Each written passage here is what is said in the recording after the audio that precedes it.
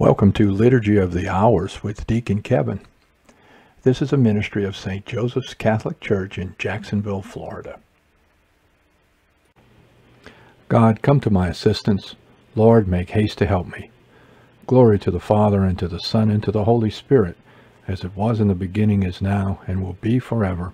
Amen. When in his own image God created man, he included freedom in creation's plan for he loved us even from before our birth. By his grace he made us free men of this earth. God to man entrusted life as gift and aim. Sin became our prison, turning hope to shame. Man against his brother lifted hand and sword, and the Father's pleading went unseen, unheard. Then in time our Maker chose to intervene set his love in person in the human scene. Jesus broke the circle of repeated sin so that man's devotion newly might begin. Choose we now in freedom where we should belong. Let us turn to Jesus. Let our choice be strong. May the great obedience which in Christ we see perfect all our service. Then we shall be free. Lord, lay your healing hand upon me, for I have sinned. Happy the man who considers the poor and the weak. The Lord will save him in the day of evil, will guard him, give him life, make him happy in the land, and will not give him up to the will of his foes. The Lord will help him on his bed of pain. He will bring him back from sickness to health. As for me, I said, Lord, have mercy on me Heal my soul, for I have sinned against you. My foes are speaking evil against me. How long before he dies and his name be forgotten? They came to visit me and speak empty words. Their hearts full of malice, they spread it abroad. My enemies whisper together against me. They all weigh up the evil which is on me. Some deadly thing has fastened upon me. He will not rise again from where he lies. Thus even my friend in whom I trusted, who ate my bread, has turned against me. But you, O Lord, have mercy on me. Let me rise once more, and I will repay them. By this I shall know that you are my friend in my foes, if my foes do not shout in triumph over me. If you uphold me, I shall be unharmed and set in the presence of ev- forevermore. Blessed be the Lord, the God of Israel, from age to age. Amen, amen. Glory to the Father, and to the Son, and to the Holy Spirit, as it was in the beginning, is now, and will be forever. Amen. Lord Jesus, healer of soul and body, you said, Blessed are the merciful, they will obtain mercy. Teach us to come to the aid of the needy in a spirit of brotherly love that we in turn may be received and strengthened by you. Lord, lay your healing hand upon me, for I have sinned. The mighty Lord is with us. The God of Jacob is our stronghold. God is for us a refuge and strength, a helper close at hand in time of distress. So we shall not fear though the earth should rock, Though the mountains fall into the depths of the sea, even though its waters rage and foam, even though the mountain be shaken by its waves. The Lord of hosts is with us. The God of Jacob is our stronghold. The waters of a river give joy to God's city, the holy place where the Most High dwells. God is within. He cannot be shaken. God will help it at the dawning of the day. Nations are in tumult. Kingdoms are shaken.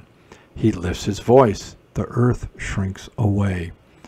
The Lord of hosts is with us. The God of Jacob is our stronghold. Come, consider the works of the Lord, the redoubtable deeds he has done on the earth. He puts an end to wars over all the earth. The bow he breaks, the spear he snaps. He burns the shields with fire. Be still and know that I am God, supreme among the nations, supreme on earth. The Lord of hosts is with us. The God of Jacob is our stronghold. Glory to the Father, and to the Son, and to the Holy Spirit, as it was in the beginning, is now, and will be forever. Amen. All powerful Father, the refuge and strength of your people, you protect in adversity and defend in prosperity those who put their trust in you. May they persevere in seeking your will and find their way to you through obedience. The mighty Lord is with us. The God of Jacob is our stronghold. All nations will come and worship before you, O Lord.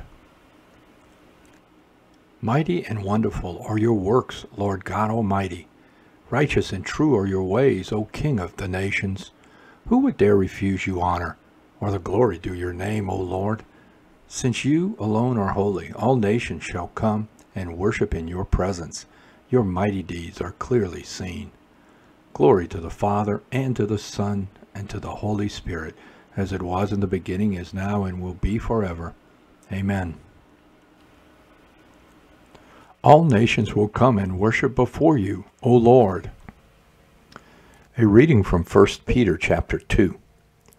Christ suffered for you and left you an example to have you follow in his footsteps. He did no wrong, no deceit was found in his mouth. When he was insulted, he returned no insult. When he was made to suffer, he did not counter with threats. Instead, he delivered himself up to the one who judges justly. In his own body, he brought your sins to the cross, so that all of us, dead to sin, could live in accord with God's will. By his wounds, you were healed. To you, O Lord, I make my prayer for mercy. To you, O Lord, I make my prayer for mercy. Heal my soul, for I have sinned against you. I make my prayer for mercy. Glory to the Father, and to the Son, and to the Holy Spirit. To you, O Lord, I make my prayer for mercy. Even if you have no faith in my words, you should at least believe the evidence of the works I do in God's name. My soul proclaims the greatness of the Lord. My spirit rejoices in God my Savior, for he has looked with favor on his lowly servant. From this day all generations will call me blessed. The Almighty has done great things for me, and holy is his name. He has mercy on those who fear him in every generation. He has shown the strength of his arm, and has scattered the proud in their conceit. He has cast down the mighty from their thrones, and has lifted up the lowly. He has filled the hungry with good things, and the rich he has sent away empty. He has come to the help of his servant Israel, for he has remembered his promise of mercy, the promise he made to our fathers, to Abraham, and to his children forever. Glory to the Father, and to the Son, and to the Holy Spirit, as it was in the beginning, is now, and will be forever. Amen.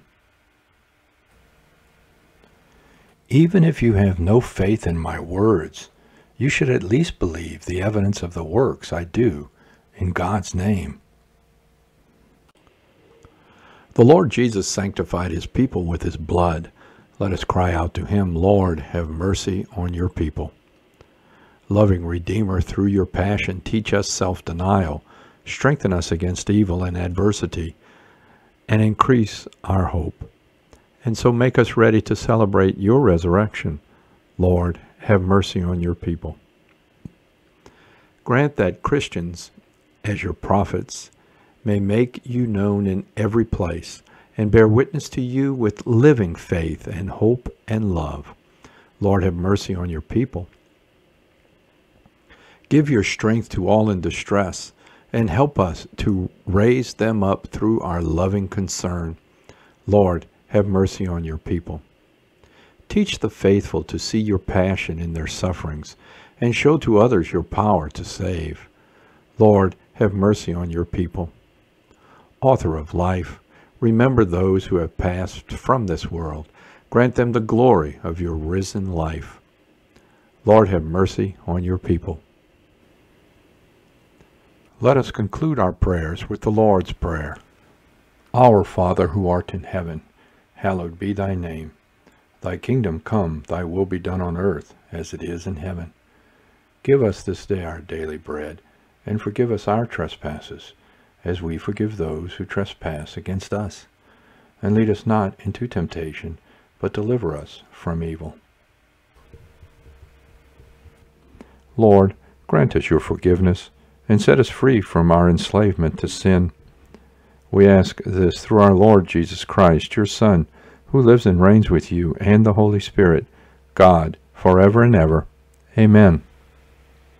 The Lord be with you and with your spirit. May Almighty God bless you, the Father, the Son, and the Holy Spirit. Amen. Go in peace, glorifying the Lord by your life. Thanks be to God.